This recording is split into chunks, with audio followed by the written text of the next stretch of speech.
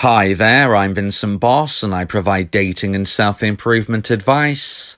And in today's podcast, we're going to be discussing when does no contact start working after a breakup? I provide audio coaching to help people try and get their ex back or get a new girlfriend or boyfriend. Check out my website for more details www.dateme.tips. Please check your spam and junk folders if you are expecting an email from me. So now let's get back into today's podcast. And today we are discussing when does no contact start working after a breakup? If you have been through a breakup, then you might have heard of the no contact rule. This is something lots of people suggest you implement if you want to try to get your ex back. But if you implement the no contact rule, when does it start working? In today's podcast, I'll be explaining three things to consider when we ask the question, when does the no contact rule start working after a breakup? If you are implementing the no contact rule, please let me know in the comments how you are feeling about your journey of using the rule. What are your experiences so far? Share your thoughts and feelings so that other people who are considering using this method will understand what your experience has been like. So please let me know in the comments your thoughts and feelings on the no contact rule. So let's get straight into today's podcast. And point number one is it depends on the version. So there are many different versions of the no contact rule that you can find online, and I believe that my version will give you the best possible chance of success. So I suggest that you subscribe to my YouTube channel so that you can familiarize yourself with my version of the rule. But as I've just said, there are different versions of the rule, and depending on the version that you decide to implement will dictate if and when the no contact rule will start working. Because if you use some of the other rules, some of the other versions that I've heard online, which are referred to as different people's concepts of the no contact rule, I believe that this can actually diminish the possibility of you one day getting your ex back. So whereas the aim of using the no contact rule is to try and increase the chance of one day getting your ex back, I believe that if you use some of the other versions of rule that you can find online, this will actually negatively affect your chances of success. One of the variants of the rule which I'm really strongly against is the 30 day no contact rule. You might have heard this online, you might have read about this, you might have seen this. I do not believe in the 30 day no contact rule. And I believe that this will cause yourself a possibility of losing the chance of reconnecting with your ex. The 30 day no contact rule basically suggests that if you have been dumped, you need to wait 30 days after the breakup and then reach out to your ex. Seemingly, it doesn't matter whether or not your ex has contacted you in this time, and after 30 days, you reach out to your ex. Additionally, if your ex has contacted you during 30 days, then you don't respond to them because 30 days has not passed. So I do not believe in this version of a no contact rule. I think it will actually cause you a lot of harm. And there are similar versions 30 days, 60 days, 90 days in a similar concept to where they suggest that if during this initial time period you hear from your dumper, then you should not respond. But then when the time period runs out, when you hit that 30, 60, 90 day period, you reach out to your ex, even if you haven't heard from your dumper during this time. So for me, this is all wrong. For me, this will decrease the possibility of you one day getting your ex back. But it's important for me to say here that nothing works 100% of the time and nothing fails 100% of the time.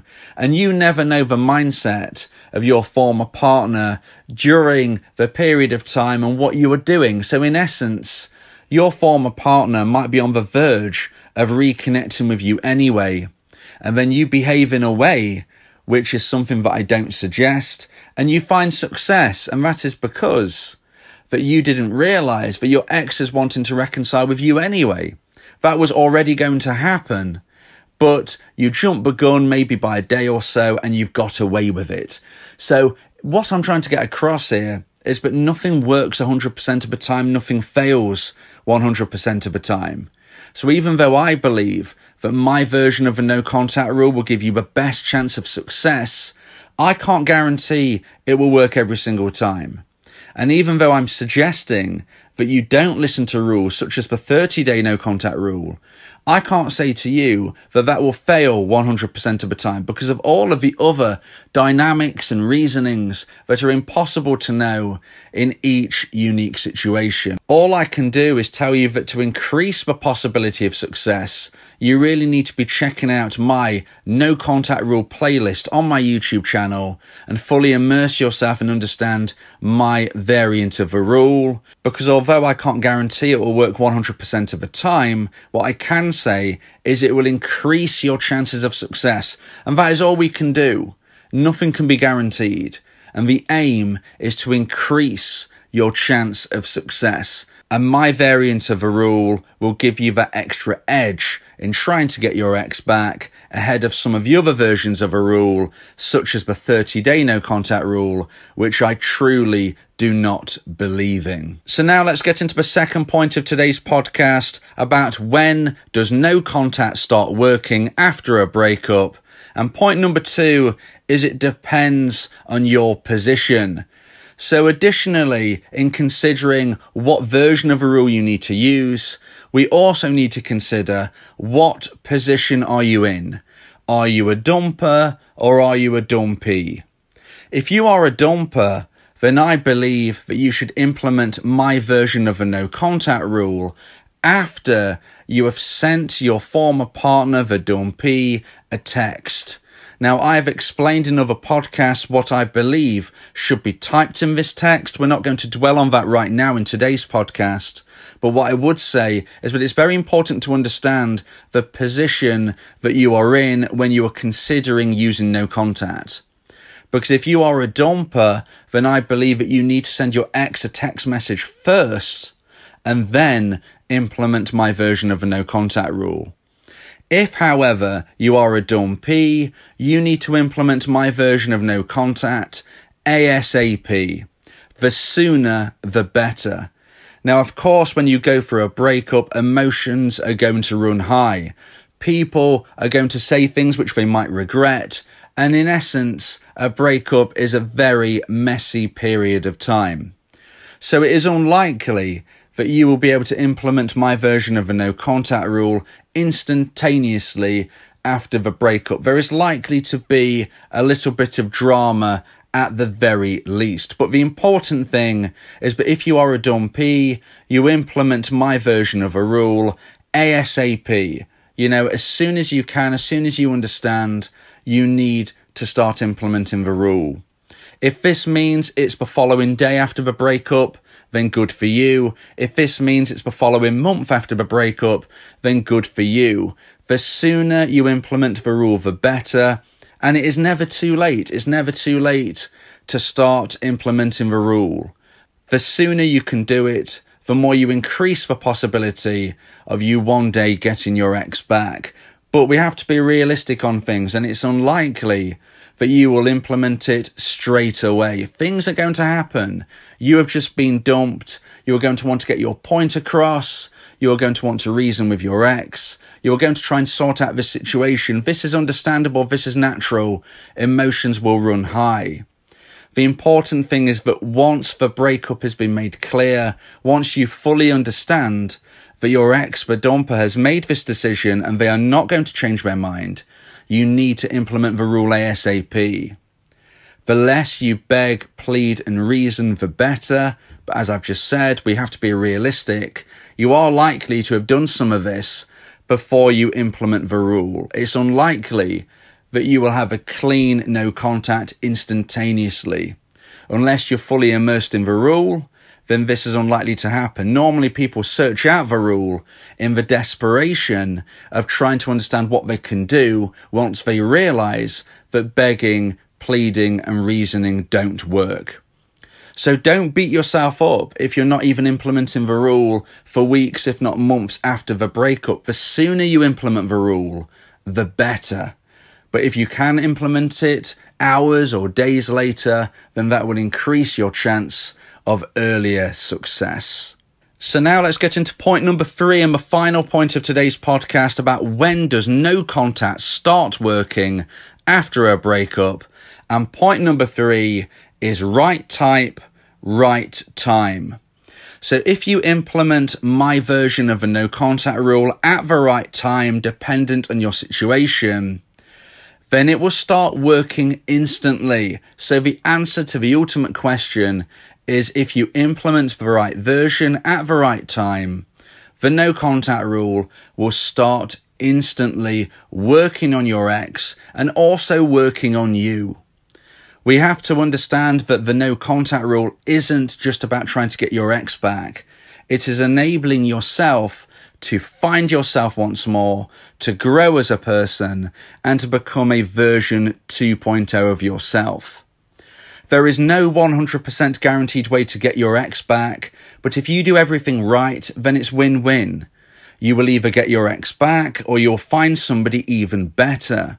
And that is because if you implement the right rule at the right time, you will increase the chances of you becoming a version 2.0 of yourself. You take yourself out of the firing line of the stress, of the anxiety, and of the drama of the breakup you go through breakup recovery and then you start to find strength. You start to go through daily self improvement, becoming a better version of yourself today than you were yesterday, a better version of yourself tomorrow than you are currently today. If you do all of these things, then even if you don't get your ex back, you will find somebody even better because you would have grown your attraction net. And therefore, implementing my version of a no contact rule isn't just about trying to get your ex back. It's about healing yourself and then moving forward into growth. Therefore, the no contact rule will work instantly because as soon as you start implementing it, you are beginning to recover. And once you begin to recover, you can start to grow, improve, and increase the chance of you finding somebody even better than your ex.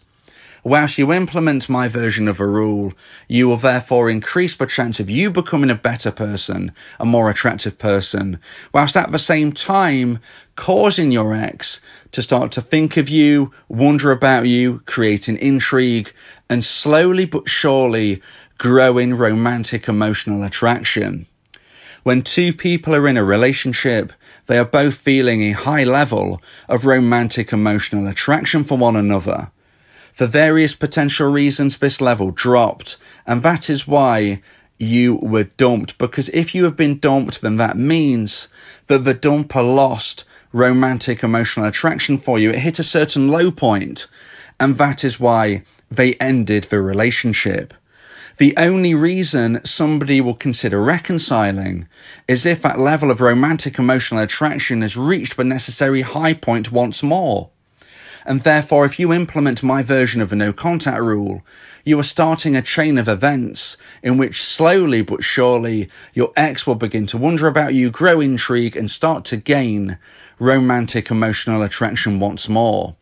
Now, depending on the relationship, the breakup, and the aftermath will dictate how low this level of romantic emotional attraction has fallen, and hence how much attraction needs to be grown before they consider reconciling. Sometimes it is so much that needs to be grown, but unfortunately, it never gets to that point. If there is a very low level of attraction left, then this means it will take an awful lot of time to get to the necessary high point, and sometimes it will never reach that moment. It will never reach that point, and therefore the dumper will never want to reconcile. However, in most instances, the level of romantic emotional attraction has not dropped to a point of no return, and therefore, after a number of months of behaving in the correct way, a dumpee can, in most instances, grow romantic emotional attraction in their dumper's mind to the point of where the dumper is feeling intrigue and they will reach out to their ex, the dumpee. And therefore, you have the opportunity to go through the communication stage, the meeting stage, and quite possibly reconnecting with your ex in a brand new relationship. So, in answer to the question, when does no contact start working after a breakup? If you use the right version, if you use it at the right time and behave in the correct way, then no contact will work instantly, slowly but surely increasing the chance of gaining intrigue in your ex's mind, whilst also slowly but surely helping yourself through recovery and also allowing yourself to have the time, space, and ability, you might say, to become a better person in every single way. If you have time and space and the enthusiasm to grow, you will become a version 2.0 of yourself. It's win win. You either get your ex back or you will find somebody even better. If you believe that this podcast has helped you, then please consider buying me a coffee. The link to do so is in the description. Yeah, if you miss your ex, we can help with that. Help you get him back, or we can help find you someone else. Yeah, yeah, Vincent Bo, the relationship coach, uh, giving you some insight, bringing you a new approach. Date me that tips. Go and check the site, uh, giving you advice, helping with your love life. Get your ex back or move to the next. Ain't no sweat, you know Vincent Bo got you finding love, ain't no problem. Yeah, date me that tips. Check it out now.